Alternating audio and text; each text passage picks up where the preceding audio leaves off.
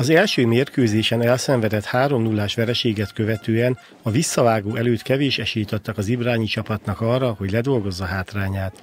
A hazaiak ettől függetlenül mindent megtettek azért, hogy gólt szerezzenek, és izgalmassá tegyék a második mérkőzést. Gerlicki Máté együttese azonban nem tudott a kapuba találni, és ahogy telt az idő, úgy lettek egyre nyugodtabbak a vendégek.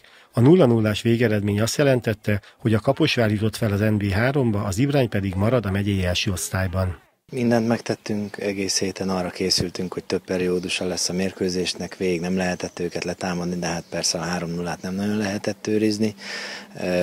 Óriási meleg volt, és ugye itt két órával hamarabb kellett játszani 15 órától a, a válogatott miatt, ez megint csak nem nekünk kedvezett, de, de ahhoz képest elég szépen nekikugrottunk, volt egy óriási helyzetünk, ha az bemegy, akkor, akkor biztos, hogy bemelegedett volna a meccs a Kaposvárják számára, így viszont nyugodtan tudták tartani a, a 3-0-ás előnyüket, ennyi, így alakult.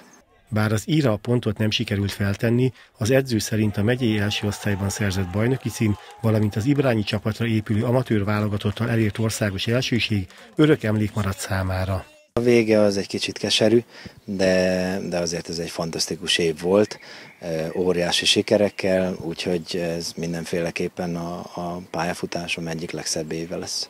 A jövőről szólva Gerlicke Máté elmondta, az egyenlőre még képlékeny, nem lehet tudni, hogy együtt marad-e az NB3 küszöbén elbukó együttes.